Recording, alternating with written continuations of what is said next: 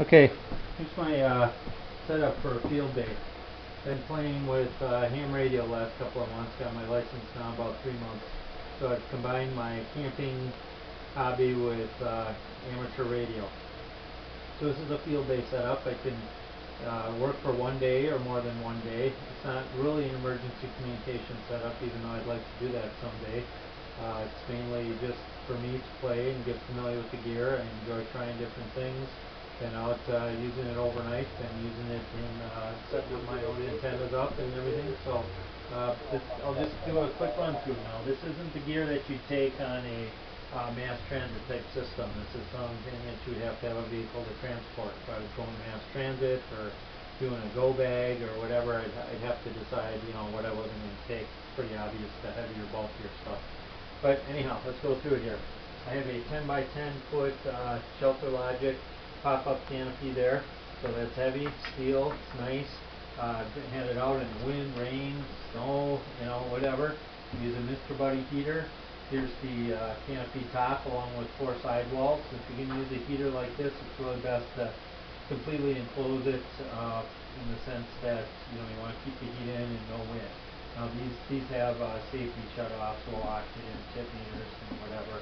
I got a hose here in a 20 pound tank and a 1 pound tank, a uh, little single burner propane stove so I can you know make myself a little coffee, tea, make myself a little meal.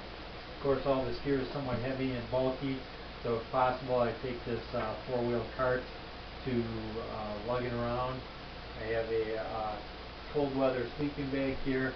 This is a U.S. Army shelter half, a piece of canvas, really handy. You can set windbreaks and throw it over things, and I just like using that in winter because it's better around uh, heat and fires, and it doesn't blow away as much like plastic. Now, it's not completely waterproof. I have glue tarps, of course. It's all sitting on glue tarp. A U.S. Uh, surplus Army uh, Alice pack frame, and I use this for carrying uh, uh, water or firewood, or if I have to carry this deep cycle battery, all that kind of stuff I can carry with the shelter, uh, with this Alice pack frame. I have back here a uh, foldable cot along with this uh, foam mattress uh, on top. The cot kind of sags, it's not that comfortable, so you put a foam mattress on it, distributes your weight a lot more evenly, that's kind of nice.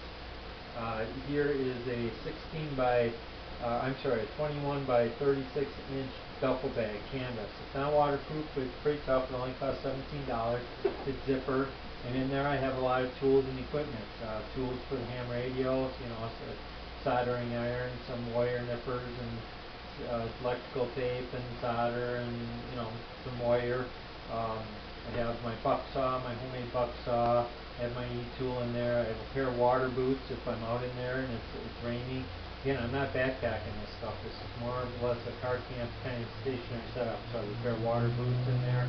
You know, work uh, construction worker type boots.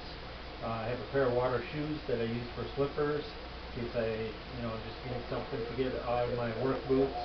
Um, I have some rope in there and some uh, uh, emergency rations and snacks and tape and, you know, I'll pull it out. A wool blanket, some plastic bags. I'll pull that out later maybe.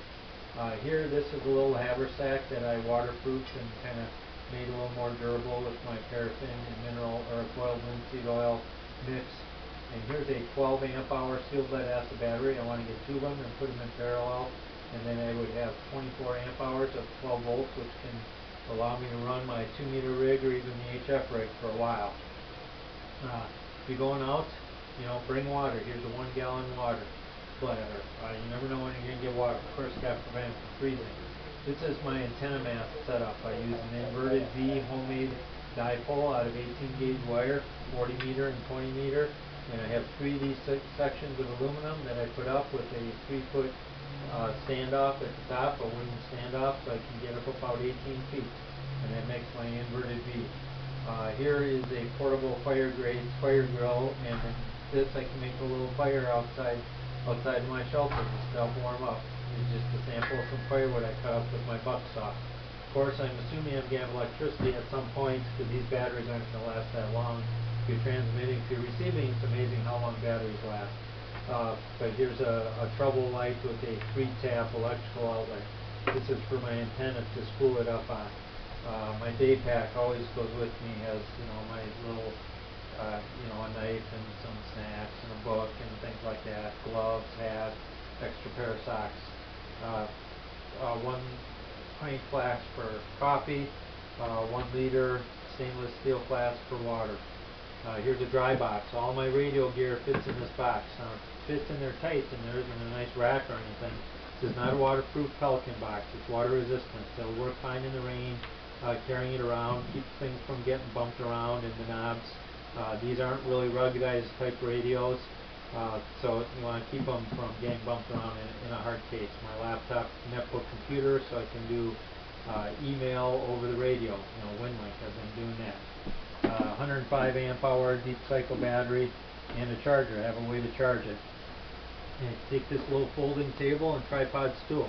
Not the most comfortable setup, but uh, pretty portable, pretty nice. I'd like a better table, but you know, again, I want to try and keep this uh, so that I can set it up easy and take it in the car as easily as possible.